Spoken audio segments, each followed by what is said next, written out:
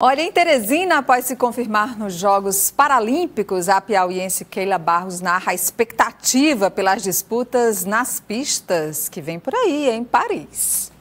O sorriso largo e fácil de Keila Barros chega a contagiar. Paris é logo ali. o jeito leve de viver dessa garota é responsável direto pelo lugar que a piauiense está nos dias de hoje. Quer ver? Espia o relato da mãe de Keila sobre sua primeira corrida com premiação.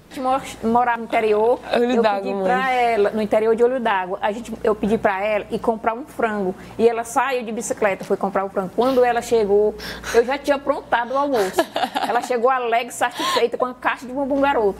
Aí eu disse, perguntei, Keila, quem te deu essa caixa de bombom garoto? Ela disse, mãe, eu corri, tinha uma corrida de rua em Olho d'Água, e aí eu fui correr e ganhei em primeiro lugar. Ganhei 50 reais e ganhei essa caixa de bambu garoto.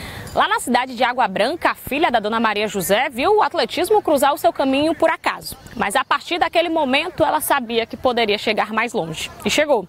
Keila hoje faz parte de uma lista seleta de atletas que irão disputar os Jogos Paralímpicos. E o próximo passo é subir ao pódio. O objetivo principal é estar no pódio, né? Mas eu eu tenho que fazer um trabalho agora um pouco mais diferenciado, porque eu estou condições de. Porque todo atleta quer ouro, né? Mas algumas coisas me atrapalham às vezes para mim conseguir atingir o que eu preciso. A última conquista foi no Japão. Há poucas semanas atrás, medalha de prata no Mundial Paralímpico de Atletismo, que a levou à principal conquista da carreira, os Jogos de Paris. Um alívio após seis meses duros na vida de qualquer atleta, cercado por lesões. E uma pessoa que treina todo dia e do nada não treinar, isso mais, tipo assim, eu fiquei com o meu psicológico muito abalado, eu não dormia. E, e também eu estava com medo de não ir para o Mundial, entendeu?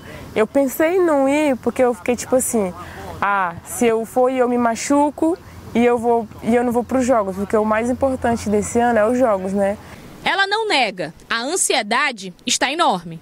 Mas saber que além de representar o país, a cada passada que ela dá dentro das pistas abre um caminho para os nomes que buscam crescer através do esporte, traz um fôlego e tanto. O esporte ele, né, ele agrega muito valor assim na minha vida e mudou a minha vida, mudou meus pensamentos, sabe? Ele muda tudo à, à nossa volta. Aí os que estão começando agora, né, que começar é muito difícil, né? Qualquer coisa, né? É muito difícil começar. Mas eu, é meio que eu, eu tô abrindo um caminho para que não seja tão, tão difícil assim, entendeu? Keila, boa sorte para você lá nas Paralimpíadas de Paris. A gente está na torcida por mais uma medalha, por mais um pódio para você.